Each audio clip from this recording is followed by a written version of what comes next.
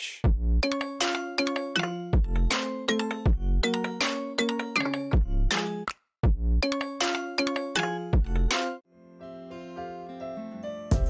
Usokon or Our Fake Marriage Japanese drama starts on July 11th every Tuesday on Fuji TV.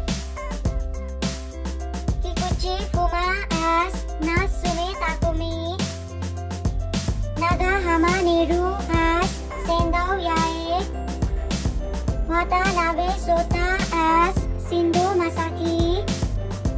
Kindle Reina as Nikki Tani Remy Kuroba Mario as Yoshida Kento.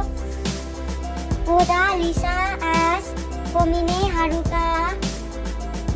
Tsurumi Shingo as Nikki Tani Koji